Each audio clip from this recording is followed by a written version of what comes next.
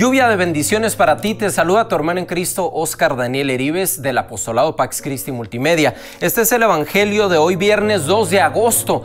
Ya vamos en el octavo mes del año, cómo se pasa rápido la vida. Hermanos, los invitamos a que se suscriban a nuestro canal en YouTube. Recuerde y presione la campanita que está inmediatamente a la derecha para que usted reciba las notificaciones del Evangelio del día y programación que tenemos a diario, como los programas En Fuego, predicación poderosa de la palabra de Dios y además tenemos más cosas. Y también si usted nos sintoniza en Facebook, vamos a tener un enlace aquí debajo para que usted le pueda hacer clic a ese enlace y se va a nuestro canal canal de YouTube y ahí se puede suscribir. Ahí tenemos la mayoría de la programación que es de gran bendición para usted y para mí y para todos nosotros. Cuando nos sentimos decaídos, hermanos, el Evangelio es palabra viva y eficaz que nos levanta.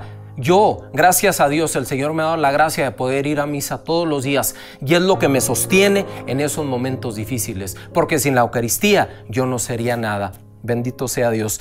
Hermanos, pasemos al Evangelio del día de hoy que lo encontramos en San Mateo en el capítulo 13, versículos 54 al 58. Dice así la palabra del Señor, en el nombre del Padre, del Hijo y del Espíritu Santo. Amén. Un día se fue a su pueblo y enseñó a la gente en su sinagoga. Todos quedaban maravillados y se preguntaban, ¿de dónde le viene esa sabiduría? ¿Y de dónde esos milagros? ¿No es este el hijo del carpintero? Pero si su madre es María y sus hermanos son Santiago y José y Simón y Judas. Sus hermanas también están entre nosotros, ¿no es cierto? ¿De dónde entonces le viene esto? Ellos se escandalizaban y no lo reconocían. Entonces Jesús les dijo, si hay un lugar donde un profeta es despreciado, es en su patria y en su propia familia. Y como no creían en él, no hizo allí muchos milagros. Palabra del Señor, gloria a ti, Señor Jesús. Quiero definir la palabra incredulidad. ¿Sabe usted lo que quiere decir esto? Vámonos al diccionario. Fíjese lo que quiere decir incredulidad. Ellos no creyeron en Jesús.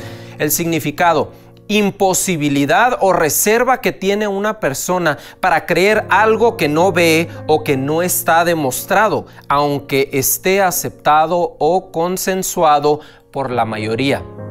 Y eso es lo que pasa con muchas cosas. Por ejemplo, el día de hoy el aborto. La mayoría en este país votó y estuvieron a favor del aborto y se practica el aborto dentro de los Estados Unidos. ¿Está bien? No está bien. La mayoría la aprobó, pero no quiere decir que esté bien. Entonces, esto es lo mismo que pasaba con Jesús. La mayoría de la gente sabía que hacía los milagros, pero no lo aceptaban. Eran muy pocos los que lo seguían. ¿Por qué? Por esa incredulidad. Y más en su pueblo, así dicen, pues si a este fulanito yo lo conozco, a doña Chona, a doña María, yo los conozco, yo sé de dónde vienen esas señoras y son bien chismosas.